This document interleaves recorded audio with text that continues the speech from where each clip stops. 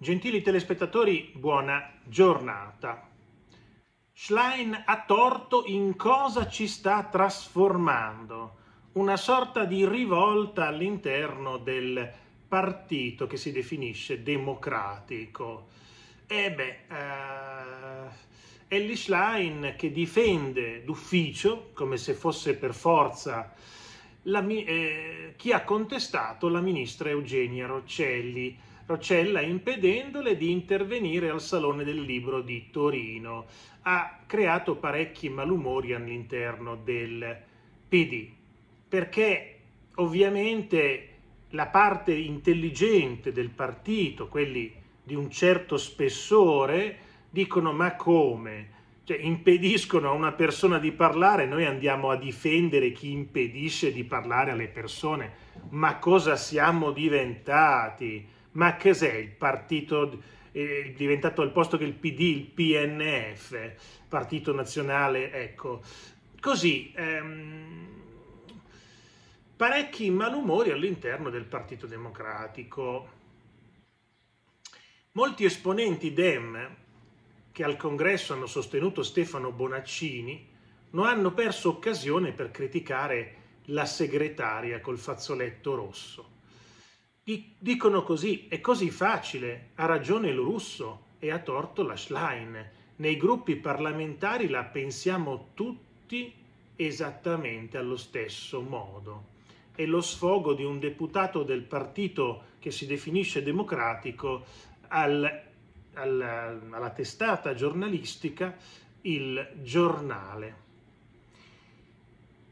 L'unico che per ora ha messo la faccia contro la segretaria del centro sociale è Stefano Lorusso.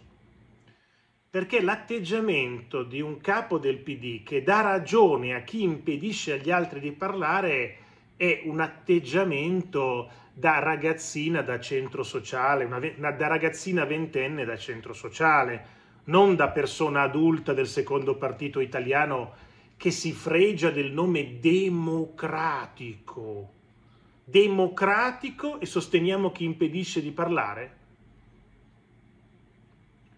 Partito potrebbe chiamarsi sempre PD, partito dittatoriale più che partito democratico. E così l'unico che parla, tutti gli altri muti per opportunità di carriera ovviamente, l'unico che parla è Stefano Lorusso, sindaco di, Tar- di Torino, che ha condannato l'episodio increscioso che ha impedito alla ministra di esprimersi. Dice così, sono convinto che la libertà di parola sia un valore fondativo della sinistra e sono dispiaciuto che la ministra non sia riuscita a presentare il libro.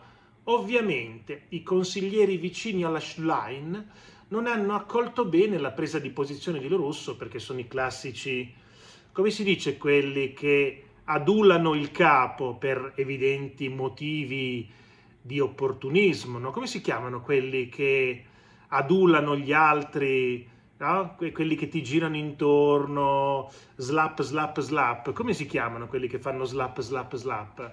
Proprio quelli lì, no? Ovviamente ci sono intorno, qualcuno li chiamava una volta i lacché, no? I lacché, gli yes men, quelli che dicono sei un grande, sei il migliore Magari se vinci fammi ministro ma sei un grande, sei il migliore, se vinci fammi sottosegretario sei un grande. Se... Ecco, quelli lì che stanno intorno alla Schlein non hanno accolto bene l'onestà intellettuale del sindaco di Torino che ha detto una cosa normalissima.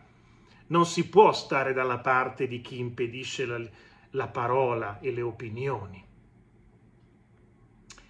E così tutti gli amichetti intorno alla ragazzina del centro sociale non hanno accolto bene la presa di posizione di Lorusso, che invece ha incontrato il favore di molti esponenti importanti del PD nazionale, cioè la Schlein viene isolata, lei e gli amichetti, i ragazzini, no? però quelli adulti, quelli che hanno un certo spessore politico, culturale, morale, eh, un certo background, un certo curriculum, dicono eh no, no, no, no, no, no. Cioè il centro sociale fatelo tu, noi siamo dei politici di un altro calibro.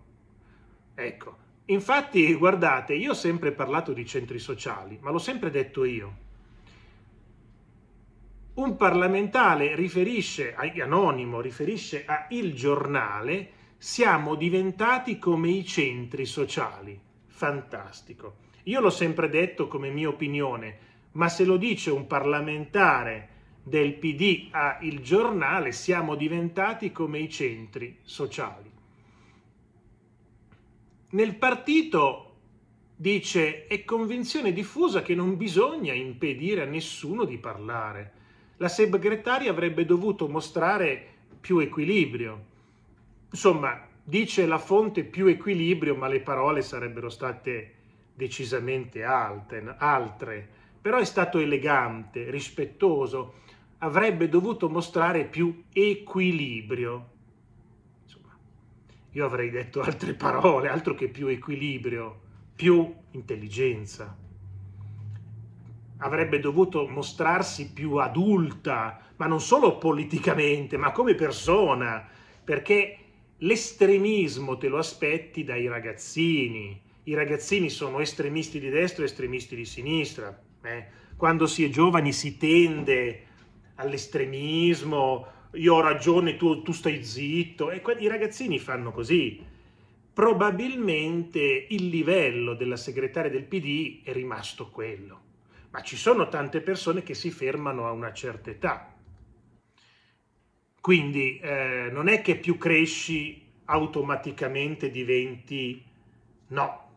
Tu puoi crescere anagraficamente, ma la tua età, non solo biologica, ma la tua età intellettuale può essersi fermata prima.